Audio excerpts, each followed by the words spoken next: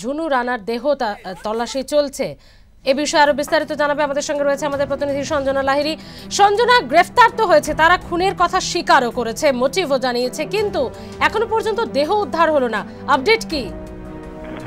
দেখো, দেখা গিয়েছে যে গত পরশু রাত্রি থেকে কিন্তু শুরু হয়েছে দেহ খোঁজার কাজ। প্রথমে কিন্তু পুলিশ ওই যে ব্রিজ, অর্থাৎ আম্বেদকর ব্রিজ, তার নিচের যে অংশ সেটা খোঁজে এবং গতকালও কিন্তু সারা দিন একদিকে যেরকম ডিএমজি দিয়ে খোঁজানো হয় এবং ডুবুরি নামেও কিন্তু খোঁজানো হয়, ভোট দিয়ে খোঁজানো হয়, সম্পূর্ণভাবে পুলিশ কিন্তু তন্ন করে খুঁজছে এই ঝুনু রানার দেহ এবং বলা যেতে পারে পরশু দিন থেকে তিন রাত এক করে কিন্তু পুলিশের এই তল্লাশি অভিযান চলছে। অবশেষে কালকে বিকেলের পর থেকে কিন্তু দেখা যাচ্ছে যে নিকাশির মাধ্যমে শুরু হয়েছে এই তল্লাশি অভিযান। এখনও পর্যন্ত সেই নিকাশির মাধ্যমেই তল্লাশি অভিযান চলছে। গতকাল রাত, রাতেও কিন্তু হয়েছে, একদম মধ্যরাতের কিছুক্ষণ আগে অবধি কিন্তু এই তল্লাশি অভিযান চলে এবং আজকে সকালবেলা থেকেও কিন্তু ফের ডিএমজি কে সঙ্গে নিয়ে এই যে তল্লাশি অভিযান নিকাশির মাধ্যমে তা শুরু করা হয়েছে।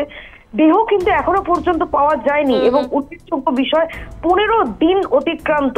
ড্রাম থেকে হিসেব মতো কিন্তু বেরিয়ে যাওয়ার কথা কারণ যেরকম আমরা পুলিশ সূত্রে জানতে পারছি যে ওই এলাকারই এক ঝুপড়িবাসী যারা খালের পারে থাকে তারা কিন্তু দেখেছে যে তেসরা মার্চের দিন কয়েক পরেই একটি ড্রামকে এবং সেই ড্রাম কিন্তু কাদা মাটি ভরা ছিল বা আহ, পাঁক ভরা ছিল খালের পাঁক ভরা ছিল কিন্তু কোনো দেহ ছিল না।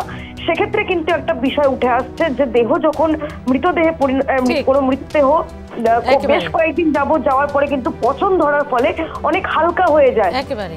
সেক্ষেত্রে ড্রাম থেকে বেরিয়ে আসার সম্ভাবনা কিন্তু থাকছে।